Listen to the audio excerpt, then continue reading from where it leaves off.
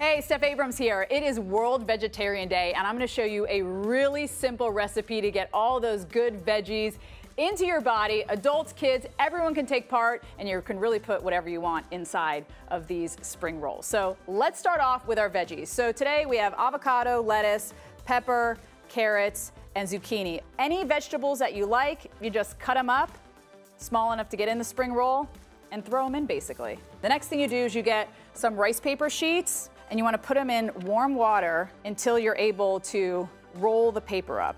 And then you just add your veggies. It's that simple. And then the rolling. I'm no pro at rolling these, not a pro, but you want to tuck it over, tuck in the sides, and then keep rolling. There you go. There's your spring roll. That's simple you need a sauce for these spring rolls. And so I have a peanut sauce recipe that you can use. And you wanna use a quarter cup of peanut butter. I like crunchy. I like to have a little texture, so I add a little crunchy peanut butter. A tablespoon of honey, a tablespoon of soy, a tablespoon of mirin, and two tablespoons of water. You literally throw them into something, mix them up, and you're finished. If you like it with a little kick, you add a little sriracha. Just a dab, not too much for me, actually. You mix it all up.